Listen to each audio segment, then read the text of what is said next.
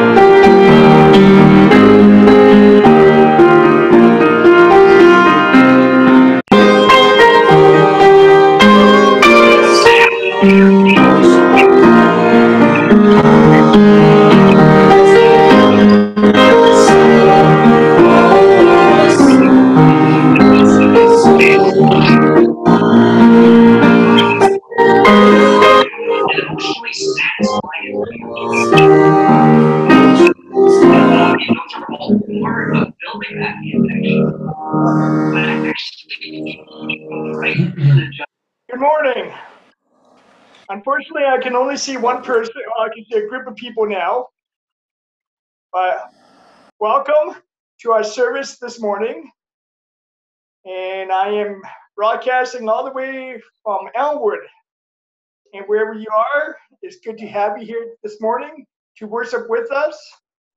It's, uh, it's awesome to be in the presence of God. It's awesome to be part of a family of God, to spread the good news of His love and the joy and with that, we serve Him.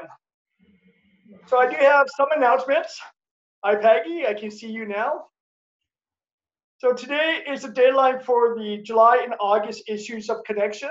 So if you have some articles that you would love to give, send them to Susan before midnight tonight. The Wednesday Bible study is still happening via Zoom. If you're interested to take part, Dr. Barbara Lyons. And we still need donations to keep our operation going. And if you'd like to give, there's a couple ways to give at this time. You can talk to Bob Barber about the pre-authorized debit program, or you can talk to Richard Billings about e-transfer. And during the month of July and August, if you need to contact the church, please leave a message on the phone, the church phone, 204 783 4413. And I've been told that the answer machine is being checked on a regular basis every day. So if you need to get in touch with somebody, leave a message and somebody will get back to you. Tomorrow night, the deacons are meeting again. And part of our conversation is going to be concerning going back into the church. If you have any input about this process, please reach out to us via email, I guess email to John or somebody on, on the deacons board. Next week, I last next week, Harvey is going to be leading the service and Paul Gittle is going to be hosting. And some really good news and uh, answer to prayer. Pastor Joel has accepted a interim position or interim pastor position at the Crossroads Mennonite Brethren Church. That is good news for him and his family, and it's also is an answer to prayer. So God has brought us here to, together today to serve, to worship, and to hear his voice. I strongly believe that we do have a God that loves us, a God that wants to hear us, and God who wants us to come to him. And I just praise him for the love that he has given to us. And I thank him for the family of Broadway First Baptist. And I will sing of the Lord's great love forever. With my mouth, I will make known his faithfulness throughout all generations. Shall we pray? Father God, I thank you for this time that you have allowed us to gather. And I thank you for technology that brings us together in this time of COVID 19. Lord, you can touch our hearts no matter where we are. And we know we have people all over the city, we have people up in Clear Lake. And Lord, you can speak to our hearts. And we thank you for Hank and his willingness to serve you by bringing to us his bringing to us your word. And Father, may we open our ears, open our hearts, and open our eyes to see your truth. We do praise you and thank you in the name of Jesus. Amen.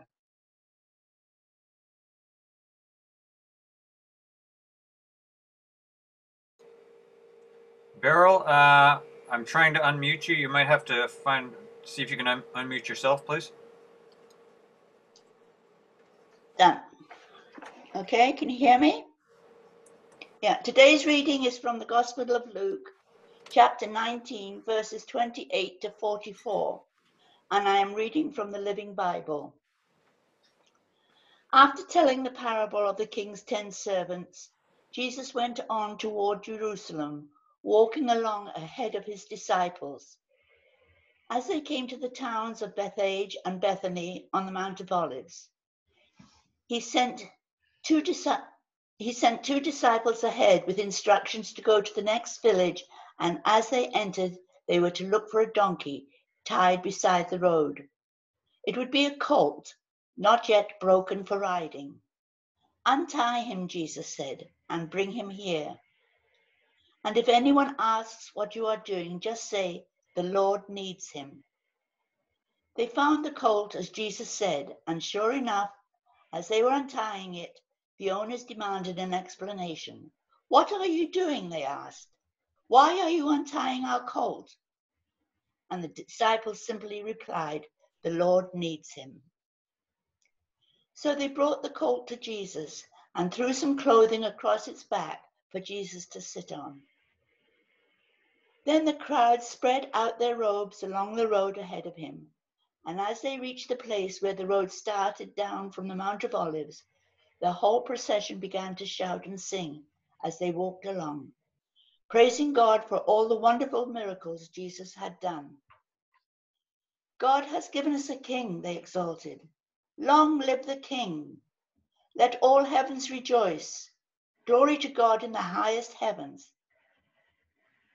But some of the Pharisees among the group said, Sir, rebuke your followers for saying things like that. Jesus replied, If they kept quiet, the stones along the road will burst into, into cheers. But as they came closer to Jerusalem and he saw the city ahead, Jesus began to cry. Eternal peace was within your reach, and you turned it down, he wept. And now it is too late. Your enemies will pile up earth against your walls and encircle you and close in on you and crush you to the ground and your children within you.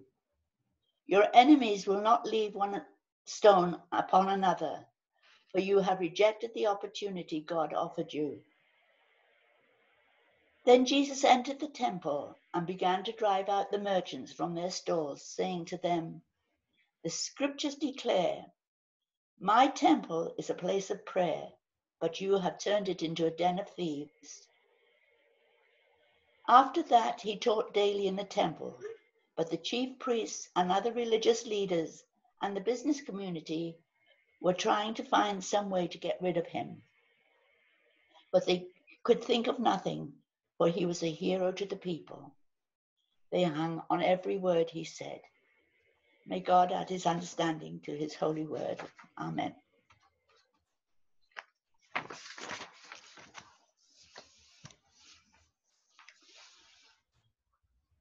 Go. Okay, John. Thank you. Thank you very much, Pearl. You're welcome. Well, good morning, everyone. Um, it's a uh, well, it's a beautiful day out there. Even if there is some rain, it's uh, it's still a beautiful day. So let's just bow for a moment of prayer. Father, as we are gathered today in worship, as we come before you, uh, we would just ask uh, that uh, you would open our hearts to your word and that uh, my thoughts and reflections, Father, may be an encouragement and a strengthening for your people. We ask all this in Jesus' name. Amen.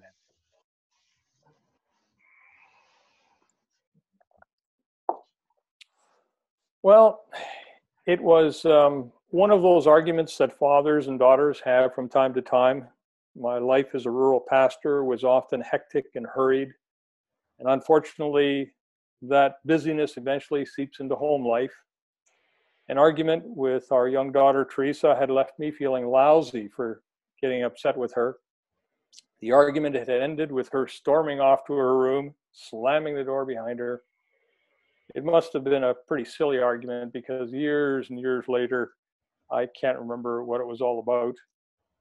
There is, however, one thing that I do remember from that day something that only a daughter could do to her father in a few seconds, and that is melt his heart.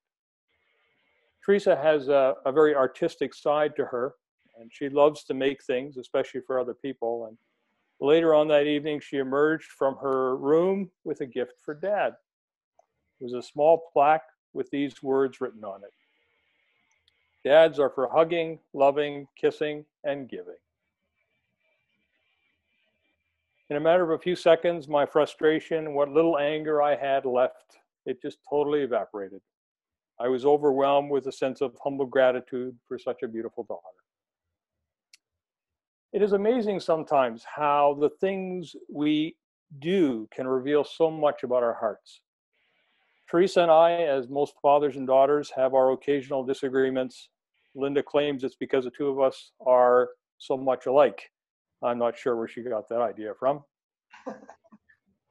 this simple yet important truth that our actions reveal our heart is a truth that we can also apply to the story in Scripture we're going to be looking at. And in this story lies a wonderful revelation of the heart of a Savior, a glimpse into the very heart of God, one that will be well worth taking some time to look at.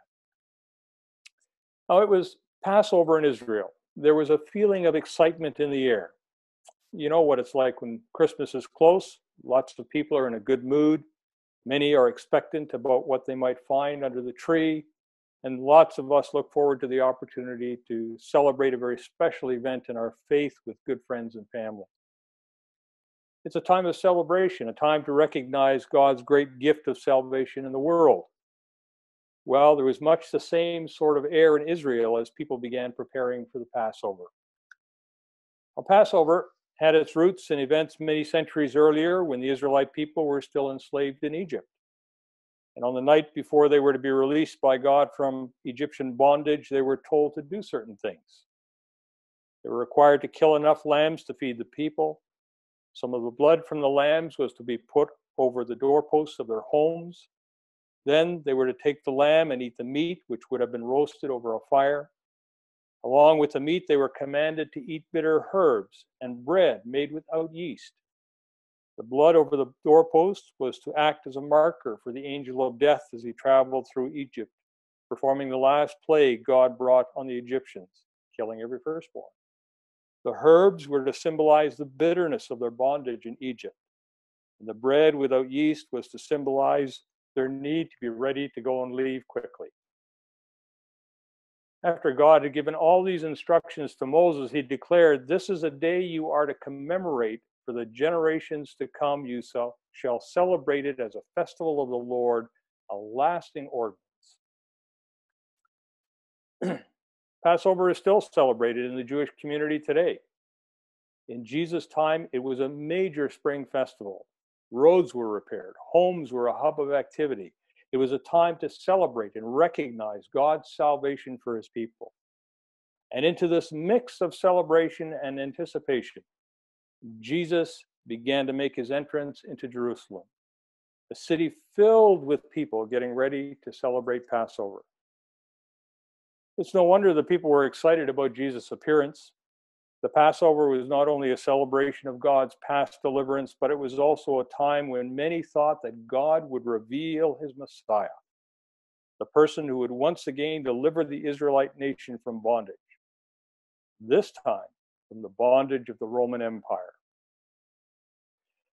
Although many were busy getting ready for the celebration at hand, with some hardly able to contain their enthusiasm about what this new Messiah Jesus would do, there was one individual who was doing anything but celebrating Jesus.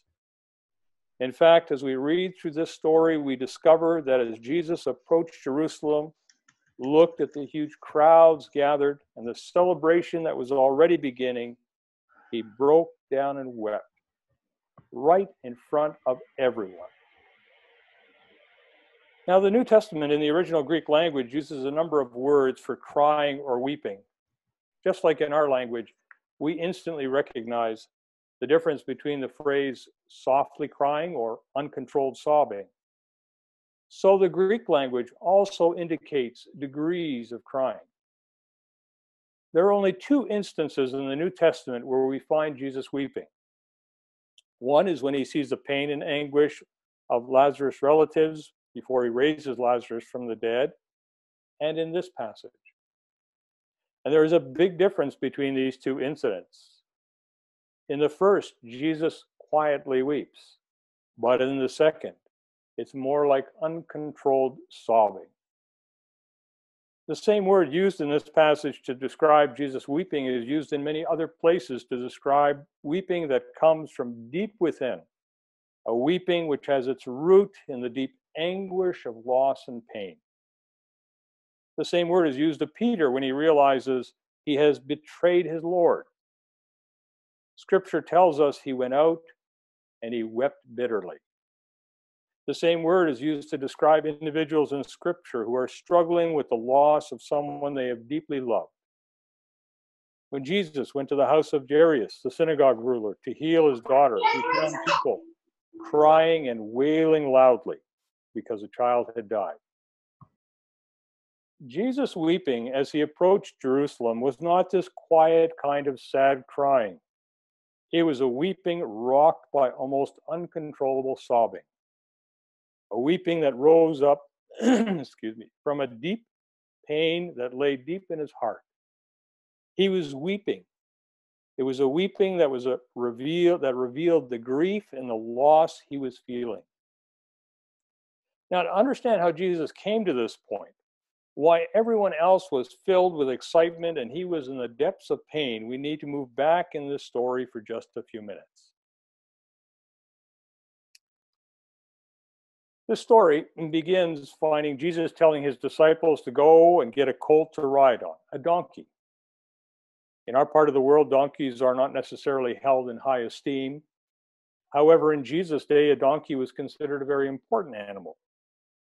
The donkey was used in all kinds of different tasks and was the main beast of burden, carrying people or loads from place to place, plowing fields, powering corn mills and water wheels. It was, as one writer put, a symbol of labor and peace, the mount of the ordinary people. Jesus' choice of the animal he rode into Jerusalem was a clear message about the kind of Messiah he was one who labored and reached out to the ordinary people, a Messiah who desired to bring peace. Unfortunately, that is not what most people saw. And notice with me carefully what he says in verses 37 and 38.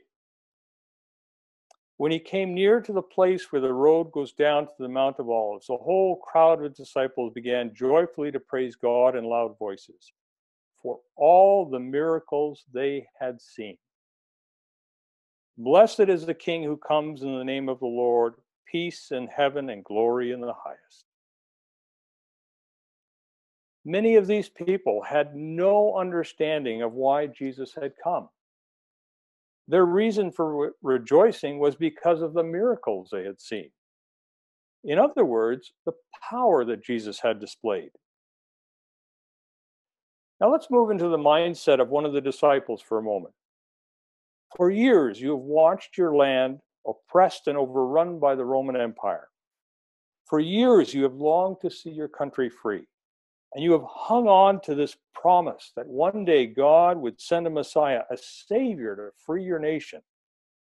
Suddenly, a man appears who can do miraculous things. He heals the blind, delivers the demon possessed, even raises people from the dead. Surely a man with that kind of power would be able to lead a great army and overthrow the evil Romans. Those who stood at the side of the road rejoicing had missed the point. They misunderstood what Jesus had been trying to tell them for three years. Have you ever been misunderstood? What a frustrating situation to be in sometimes. You desperately try to get your point across. You approach the situation from every angle, trying to help the other person understand. And as hard as you try, nothing works. In the end, you're left misunderstood with no one listening to your perspective anymore.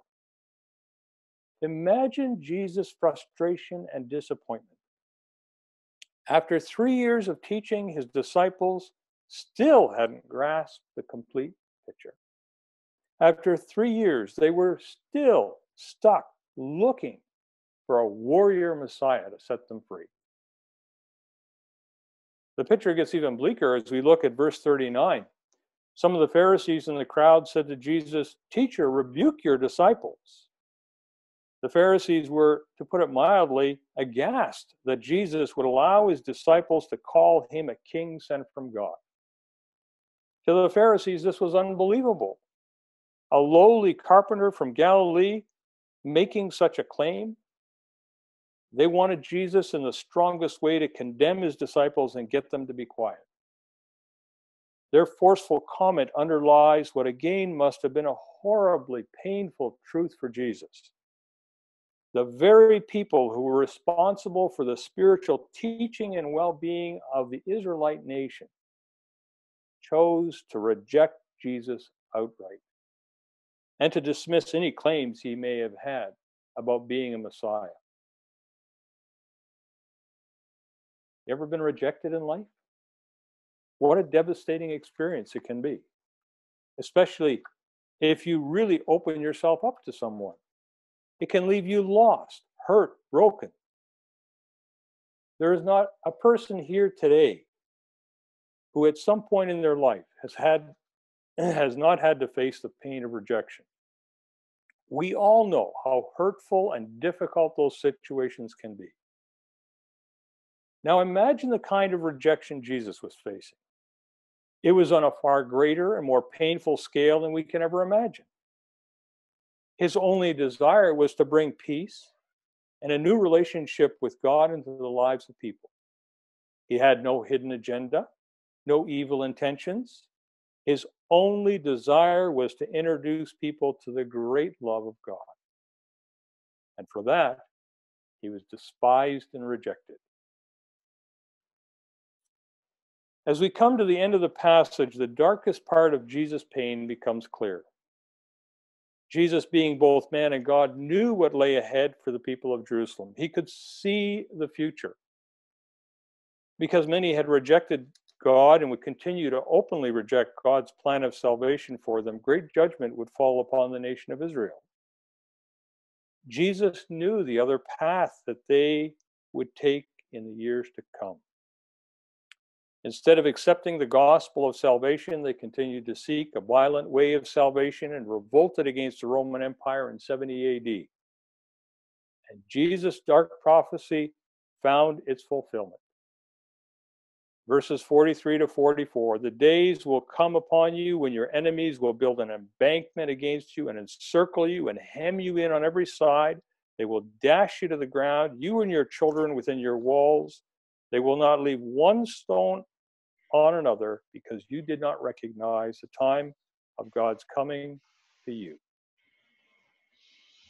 In april ad 70 the romans built an embankment around jerusalem encircled the city and took on the revolutionaries who occupied it. For four months, they laid siege to the city. And in the end, the Romans devastated Jerusalem. One witness of the battle said you could take a plow and run it straight through the city, so leveled was it. The Romans so utterly destroyed the city that all that is left of the original temple today is one supporting wall, now called the Wailing Wall.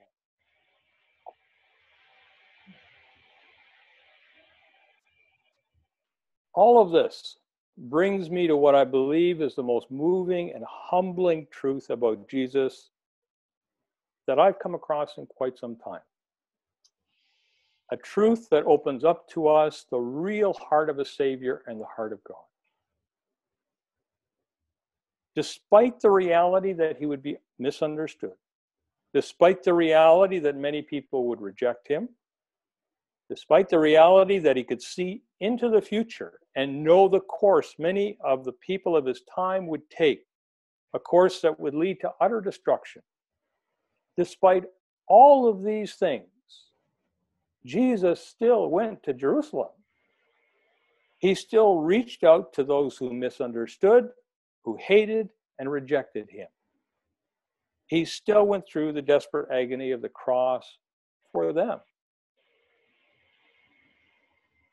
Let me try and put this in perspective that we might all be able to grasp a little bit more fully. So, how many of us, if we knew beyond a shadow of a doubt that people would misunderstand us, that they would misunderstand what we had to say, would get up in front of people or a group of people and try and explain ourselves? What would be the point? It would be a waste of time. How many of us would ask someone, for instance, to marry us if we knew beyond any doubt that that person we were going to ask would clearly and without any hint of regret reject us? I wouldn't. What would be the point? It would be an utter waste of time. It would be like knowing you are going to make, be made a complete fool of and stepping right into it. Who in their right mind would want to do something like that? How many of us, if we could see the future and know that someone we were trying to befriend was going to turn against us, would then continue to make every effort to reach out to them? I wouldn't. Who wants to invite pain into their life? There's enough of that to go around already. Well, Jesus did exactly what many of us would never do on a far greater scale.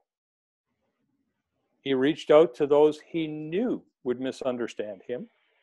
He reached out to those he knew would openly despise and reject him. He reached out to those he knew would choose to reject his message and in the end bring total destruction on themselves. Why would he do that? Because he had such a deep love for all of us that it compels him to reach out to those he knows, he knows will ultimately reject the message. As the Apostle Paul put it in his letter to Timothy, this is good and pleases God, our Savior, who wants all men and women to be saved and to come to the knowledge of the truth.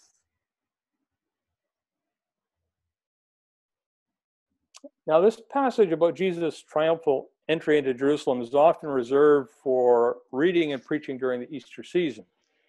And that's unfortunate because it is one of the most significant passages about the heart of a Savior and the heart of our Father in heaven. And as such, I want to leave you with two thoughts on Father's Day as we reflect on God's heart. First, it is a reminder of how deep and unfathomable is the love of God in Jesus Christ. If Jesus knew who would misunderstand and reject him in advance, then he also knows what lays in my future and in your future. He knows the days ahead when I will sin and you will sin. He knows the times that you and I will misunderstand him. He knows the times that we will willfully reject His will for our life. He knows the very moments ahead when we will disobey Him. And yet, He still moves towards you and me, just as He rode into Jerusalem. He still loves me. He still loves you. He walks with us. He cares for us, despite all our faults, both small and large, that make up our lives. The second thought I want to share is that in this story, God is providing us with an example, a template, a guide to engage with those around us, our family, our friends, the world at large. As you live life, people are going to misunderstand you. They will reject you and sometimes the message you bring. They will claim to care about you, yet occasionally display exactly the opposite. Through all these situations, God calls us to love and to care for others, despite what they may do in the future to us and to themselves. You know, there, there is an interesting perspective on this story for those of us who are um, a little older and have lived uh, maybe perhaps a full life. We think we don't know what the future holds, but sometimes we know it very clearly. As a parent with grown children, I've watched my children, as you have watched your children, make their fair share of mistakes. And in the process of making a few of those decisions, I warn them about what the future held. It often didn't dissuade them. Linda and I knew what would unfold. We knew the hardships they would face, the struggles they would go through, and the consequences they would face. Through it all, knowing all this, we still loved them with everything we had. Some of you have faced the same scenario in your lives, and will note no doubt, just like Linda and I face more of them in the future with family, friends, and fellow Christians. And into the midst of all these situations, God offers this profound image of Jesus sitting on a donkey, overlooking Jerusalem, knowing exactly what lay ahead. He could have turned around and walked away. Instead, he moved forward, knowing that beyond the rejection, the misunderstanding, lay the opportunity to bring life, new life, for those who desperately need. Let's bow for a few moments of prayer.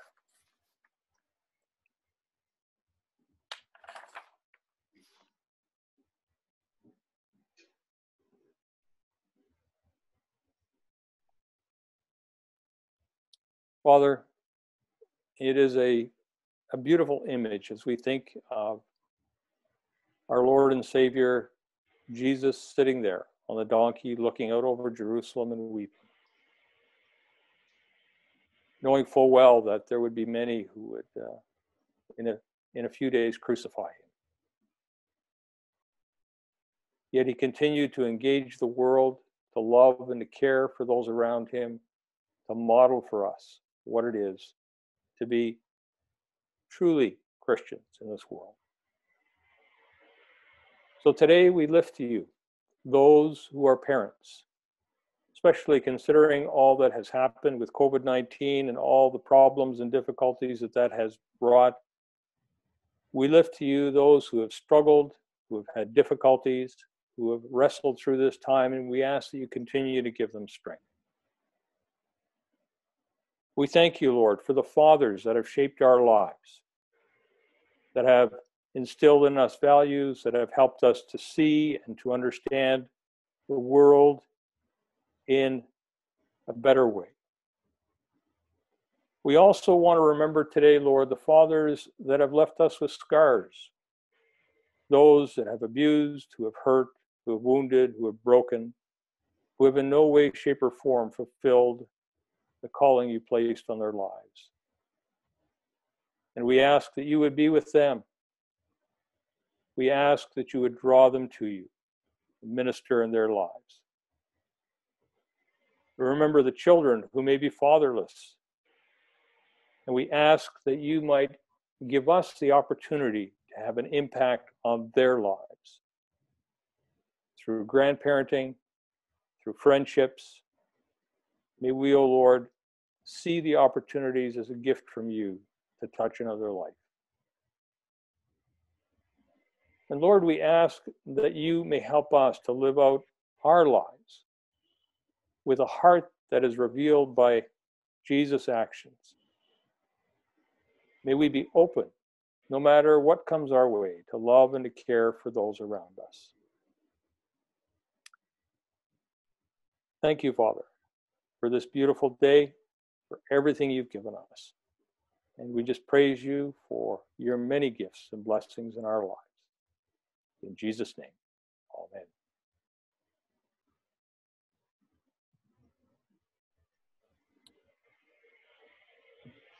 Kind of getting used getting to used to not not having not, music not at the end. Oh, so, anyway, I'll do the benediction and then we can close off the service here. And now may the God of hope fill you with all joy and peace by your faith in him, until by the power of the Holy Spirit you overflow with hope. Amen.